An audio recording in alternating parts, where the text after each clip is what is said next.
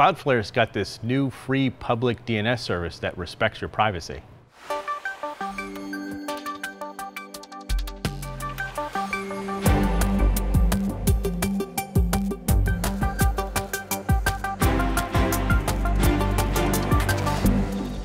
So Manny, you got something about Cloudflare you want to share with us?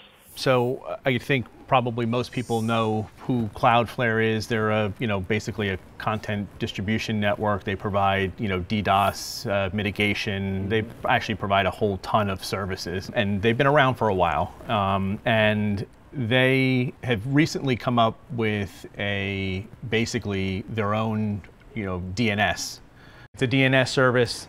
It's free and it's public and in essence provides a level of privacy that we haven't seen before from a, a free DNS service. They're hosting it on 1.1.1.1, right? They launched this, which everybody thought was an April Fool's joke, on April 1st.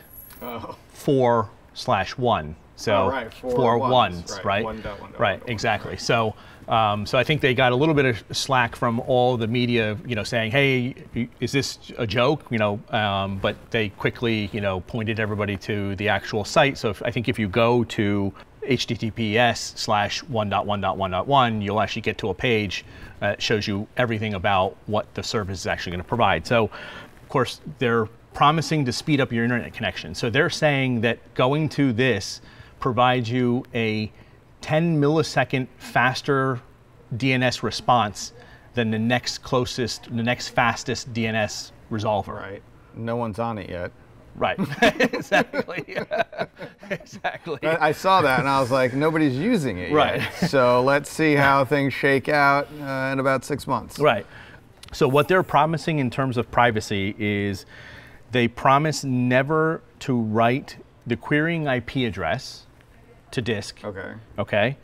And to wipe all of their logs of DNS queries within 24 hours. You know, their focus in their service is speed and privacy. That's been a hot topic lately. So I think that they're probably going to get a lot of people interested. So to me, this is a little interesting because um, I understand where they're going, right, in terms of a privacy thing. But then you've got some of these other providers like OpenDNS, and mm-hmm. I've used them.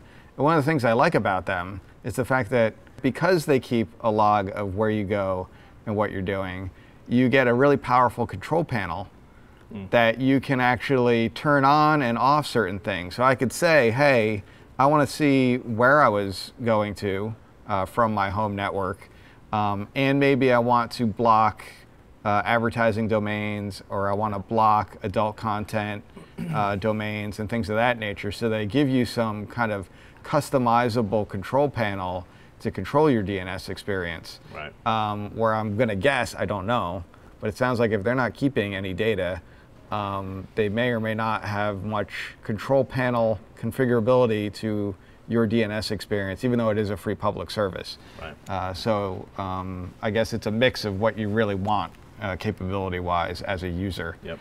I think the timing on this is is pretty important for them to bring this out in lieu of some of the things that we're hearing now about you know data and privacy you know what's what's going on out there and, and people are really starting to turn into keeping their data to themselves as compared to you know a couple of years ago everyone posts and, and does all all this other stuff.